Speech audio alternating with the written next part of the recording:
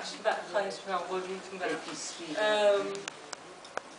سخنران ما جناب آقای دکتر مسعود شاهرخ میرشاهی هستند. اه، ایشون واقعا گل سرسبد ما هستن اینجا همگی می‌شناسیم. آقای دکتر میرشاهی رو با اینکه بسیار جوان هستند. پژوهش های خیلی خیلی زیاد در پزشکی دارند و به غیر از پژوهش های پزشکی ایشون خیلی زیاد به فرهنگ، به تاریخ، هنر، نقاشی، شعر ایران علاقمندن صاحب نظر هستند چندین کتاب در مورد شعر و جمعآوری شعر و تفسیر شعر نوشتن. کتاب های مختلف فرهنگی دارند و ایشون واقعا یک نمونه یک انسان پلیولان هستن که خیلی خیلی خوشحالیم که در جمع ما و همیشه حضورشون ما خیلی خیلی ارزش داره.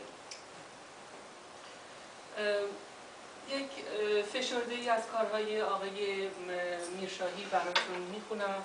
آقای دکتر میرشاهی در سال 1333 در نیشابور متولد شده. و آموزش های خود را در نیشابور و مشهد دیده و سپس به اروپا مهاجرت کرده است. دکترای پزشکی خود را از دانشگاه لیمبورگ هلند گرفته و در پاریس در رشته سرطان شناسی آموزش خود را ادامه داده است. وی دارای تحصیلات عالی در رشته بیوشیمی انعقاد خون و دکترای دولتی در رشته ایمونوژنتیک و پیوند اعضا از دانشگاه پاریس می باشد. آقای مسعود شاهرخ میرشاهی عضو چندین سازمان و انجمن علمی و دانشگاهی در سراسر جهان بوده و دارای عنوانهای دکتر، پروفسور و اکادمیسیان می باشد. اکنون در دانشگاه پزشکی پاریس مدیر بخش پژوهشی درباره سرطان هستند. کارهای پژوهشی دکتر میرشاهی در بیش از 200 مقاله در مجلات معتبر بین المللی به چاپ رسیده و در بیش از 240 کنفرانس بین المللی گزارش داده شده است. کشفیات او در رشته های گوناگون علوم پزشکی سبب افتخار داشتن چندین جایزه بین المللی گردیده است که از جمله آنها بورس‌های Fondation برای پژوهش در کارهای پزشکی در فرانسه، جایزه Fondation فرانسه، جایزه ایمونوپاتولوژی در توکیو، ژاپن، جایزه توکسیکولوژیست های آمریکا و جایزه انستیتوی فرانسه فرهنگستان فرانسه را در سال گذشته می‌توان نام.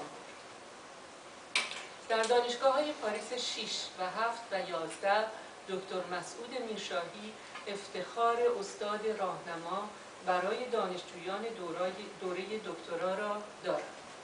در کنار کارهای پزشکی و پژوهشی بیش از 60 مقاله در رشته های ادبی، هنری و تاریخ علم به زبانهای فارسی و خارجی نوشته است. وی به سبب علاقه زیاد به دانش و فرهنگ و هنر ایرانی با بنیاد انجمن رودکی در 15 سال پیش در پاریس زمینه را برای همایش‌هایی برای شناخت و شکوفایی فرهنگ ایرانی فراهم نموده است و در همین راستا چندین همایش بین المللی چند روزه را در رابطه به ایران شناسی در دانشگاه های کشورهای هلند، تاجیکستان، آلمان، فرانسه، یونسکو و بلژیک فراهم و برگزار کرده است. علاوه بر اینها برنامه چند روزه‌ای در یونسکو به نام چهره پنهان زن افغان و در سال جاری همایش سه روزه برای بزرگداشت 800 سالزاد روز مولانا در انستیتوی زبان و تمدن شهر پاریس اجرا کردند. آقای مسعود میرشاهی همونطور که گفتم بسیار موفق هستند. من افتخار اینو داشتم که در انجمن فرهنگ ایران سالها با ایشون به عنوان عضو فعال همکاری بکنم.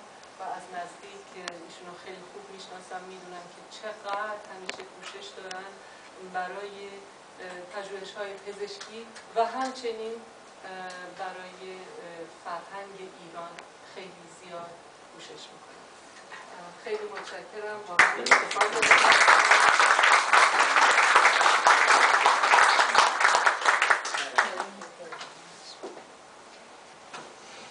متشکرم البته این افتخاری است در کنار خانم درحوزی بودم. ایشون از عشق و هنر و نقاشی صحبت کردن. من یه وقت شما رو به یک دنیایی که هممون تقریبا ازش کمی میترسیم.